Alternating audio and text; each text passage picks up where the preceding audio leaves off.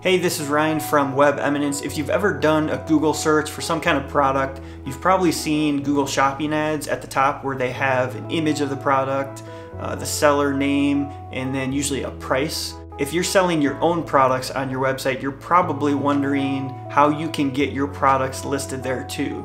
So I'm gonna show you how to do that in this video. The first step is gonna be signing up for Google Merchant Center. So let's go over to the screen and I'll show you how to do that. So these product listings that are shown at the top of Google are ads, so people are paying for these. So you will need a Google Ads account in order to show these ads. And you'll also need an account with Google Merchant Center. You can find this by Googling Google Merchant Center or go directly to google.com slash retail. You should find it one of those ways. I'm going to go ahead and sign in to my current account just to kind of show you real quick what that looks like. I do have a few different accounts running through here, um, but basically what you're going to do is create a feed which uh, has all of your products in it. So if I click on one of these feeds for this specific client, uh, you'll get a rough idea of what it looks like. Actually, I would have to click on products or all products. And the feed is basically a, a database, uh, it's kind of a spreadsheet of all your product data with images, IDs, prices, and a bunch of different data that then gets fed to Google Ads. So you'll need to go through the steps of adding a feed. There's different ways to do this. Uh, if I click Add New and then select a language, hit Continue, you can see you could have a Google Sheet document, which is just a spreadsheet that has all your product data. You could schedule a fetch. Um, probably the most common method uh, where you host a file on your website and you could use a plugin to do this, uh, which I'll show you real quick in a second. And then it'll just fetch the data you know once a day. You can also upload the data. And then there's some other options too but you'll want to read up on these options. But scheduled fetch is probably going to work with most for most people who are using WordPress or WooCommerce or something like that. So I've obviously already um, set up a feed in this account. You see I have 184 products. I can also go to diagnostics to see if I have any issues with products and correct those. Right now it looks like all of them are approved except for one and it has to do with an image problem it looks like. So for the setup of Google Shopping, that's all you'll need to do in Google Merchant Center. You might monitor this from time to time.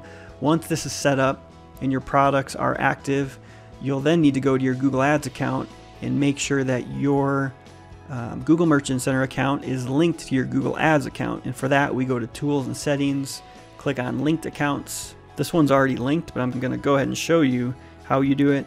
So in here, you got to find Google Merchant Center, click Details, and then here you'll link your two accounts. Uh, I think they'll just need to both have the same admin email address, and it should show up here, and you can easily link them.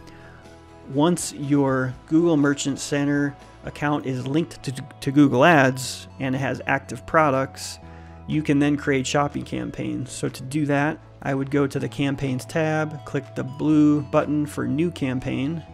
In this case, I'd probably just click on Create a Campaign without a goal, and then I'm to select Shopping.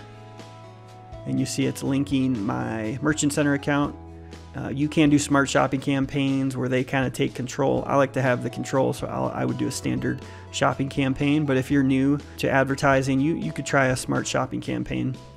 I'm going to cancel this. I just want to show you how you do that, and I will just uh, show you a couple shopping campaigns. So now I have the shopping campaign category. I have two active shopping campaigns.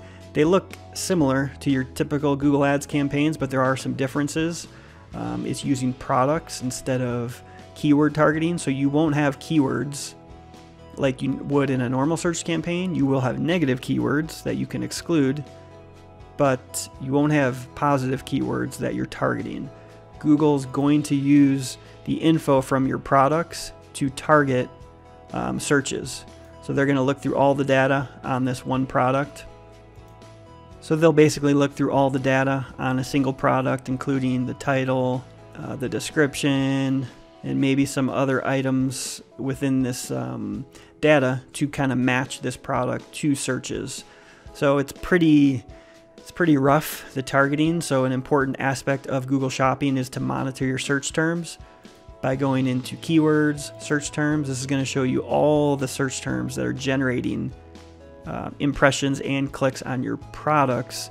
So, for example, I excluded rolling mill on this one because it just wasn't wasn't appropriate, wasn't relevant for these products. So that's a big part of managing your shopping campaigns. You can also divide ad groups and campaigns by, you know, your product categories. So for example, these two campaigns each have an ad group and then I'm able to go into the products and filter them out and only show certain products within certain ad groups. I'm not going to get into all the details of this, but just want to quickly point out that you can divide your products by category, title, and price, and all different things to um, show have different budgets and different bids for different products. So that's my quick overview of how to get started showing shopping ads in Google. If that's something that you want to do for your website and business, but you're not really ready to tackle it on your own, or maybe you're already running campaigns and you just want to make sure they're optimized, you need someone like me to keep an eye on them and manage it for you. Uh, make sure to check out my link below for my PPC management service. I do have a number of clients, like I mentioned, where I'm managing Google Ads, and uh, I am taking on um, new clients right now, but I might not be forever, so make sure to get in touch. Check out some of my other Google Ads videos. I'll link to one here, and we'll see you on the next video.